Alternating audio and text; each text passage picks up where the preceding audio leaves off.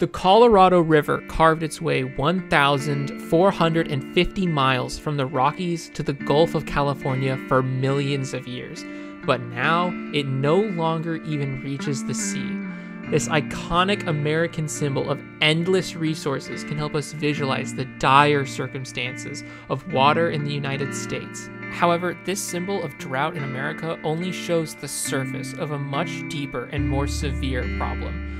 Underneath the Colorado River's surface lies America's water problem. Now, while almost everyone learned about the water cycle in fourth grade science class, it has gotten a little fuzzy, so we're going to do a brief refresher course to better understand the severity of this issue.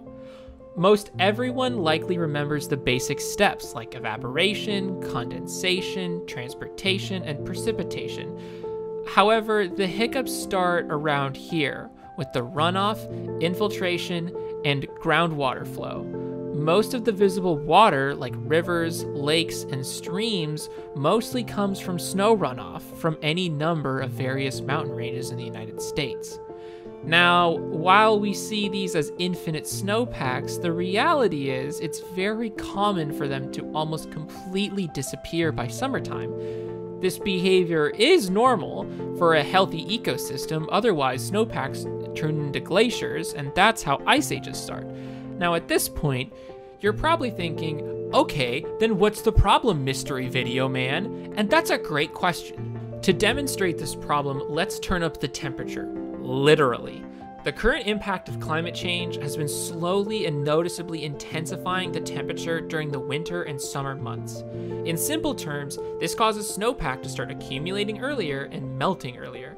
Now, if there's less snowpack later in the summer months, it's easy to understand how these lakes and rivers can start to become depleted. The decrease in water supply from the mountains, along with warmer temperatures that evaporate the surface water, help to rapidly decrease water levels all across the United States.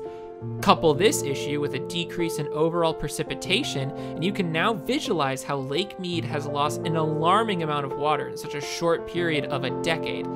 This explains the visual problems with the lakes, but what about the main issue promised at the beginning of this video?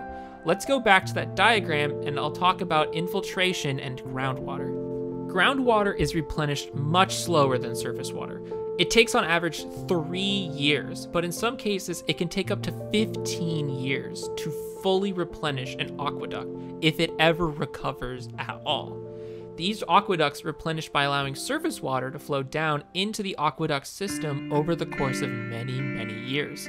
In this map from the USGS, it shows the rapid depletion that is happening in America's aquifers, mainly those of the American Southwest. Groundwater is also a crucial part of most American supply that is surprisingly unrealized. Even I was unaware of this specific issue until I was researching this topic. According to the University of California, Riverside, 85% of Californians rely on groundwater for a portion of their water supply. However, because of drought, overuse, mismanagement, these critical supplies of water have started to get dangerously low levels of capacity. If we do not limit the usage of underground aquifers, we will be forced to rely on the already visibly depleted water on the surface. Now, I don't like to be one for straight up fear mongering, so let me tell you what is and could be done to help solve this. We have some great examples of cities that manage their water incredibly efficiently, like Las Vegas. Las Vegas is able to accomplish this by removing unnecessary lawns, recycling water at impressive efficiencies, and capping overall usage of residents to avoid abuse by a few select individuals. On top of cutting usage, states like California have created 11 desalination plants or factories that turn salt water into fresh water. These are very expensive and time consuming, but are one of the necessary steps that have to be taken to increase the supply before curbing the demand. This problem is a very serious issue due to how many factors of life rely on the abundance of fresh water in America. If we continue to use the supply of our resources as if they are infinite and without consequence, we could be forced into some harsh reactions instead of taking a few very reasonable precautions. While it might be inconvenient and difficult to implement these measures, they are necessary to avoid the consequences of America's water problem.